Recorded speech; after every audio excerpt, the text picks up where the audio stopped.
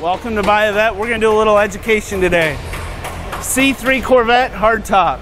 Sammy and Abel are going to help me out here to show people how to get them on and off. This is typically a two to three man operation. This is not heavy, but cumbersome. So to protect the paint, we'll put it on. We've rolled the windows down. We have moved our visors. And what they're doing is lining up the pins into the back holes with the pins at the front. And you can see right here, what Sammy's doing is, is just clicking this in. All right, and then this is secure here. And as you can see, everything on the inside is ready to go.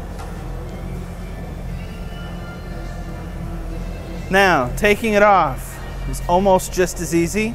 They're going to unhook the levers on both sides.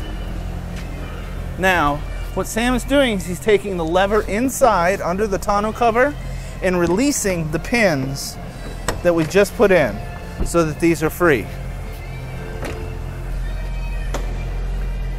A nice lift, and it's that simple. Folks, if you'd like to know more, have any suggestions about videos, give us a call 770 414 5552.